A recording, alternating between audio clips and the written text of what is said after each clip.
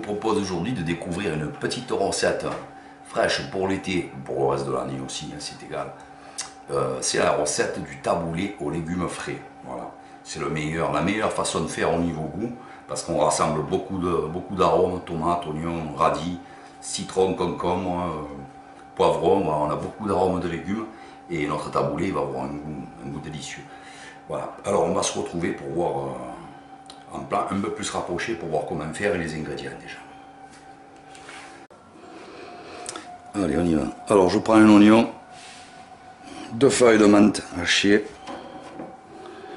10 radis,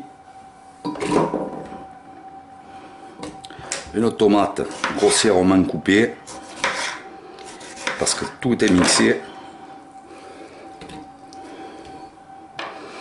Pareil avec le poivron,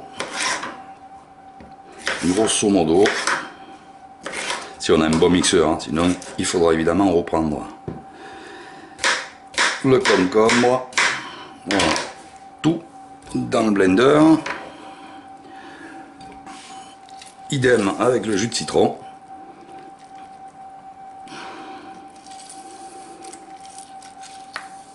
il n'y a que l'huile, les 5 décilitres d'huile d'olive que je réserve pour la fin.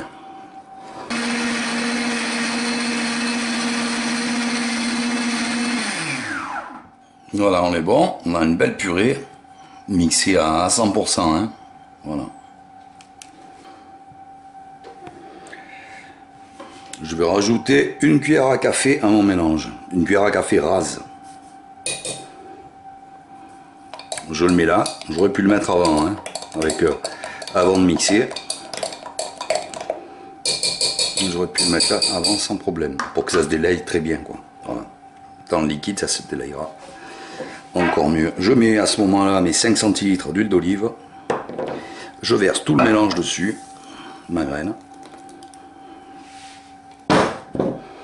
Je remue. Alors, pour un... Là, on a un taboulé qui va être un peu plus vert parce qu'on a mis du poivron vert. Pour un taboulé, un taboulé un peu plus rougeâtre, eh bien on met un poivron rouge, tout simplement.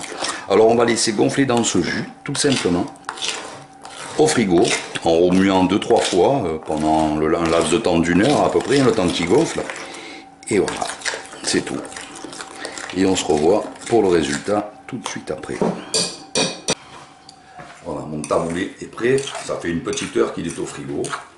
On a la quantité voulue pour qu'il soit assez mouillé, qu'il soit plus croquant surtout. Il ne nous reste plus qu'à faire une petite brunoise ou une grosse brunoise, moyenne bien, de tomates, c'est-à-dire qu'on va mettre, on va prendre une tomate fraîche par exemple, on va la couper en cubes et on va la rajouter dedans et mélanger.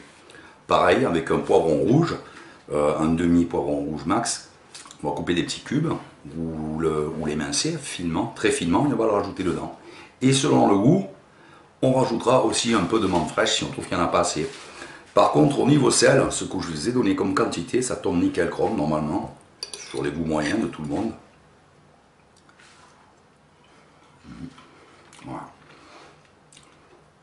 Une cuillère, à café, une à café au départ, dans notre liquide, ça suffit, c'est bon. Un demi-citron aussi, c'est parfait. Et l'huile aussi. Voilà, on a un taboulé, un taboulé qui est bien mouillé, pas sec. On ne s'étouffera pas avec, il est délicieux.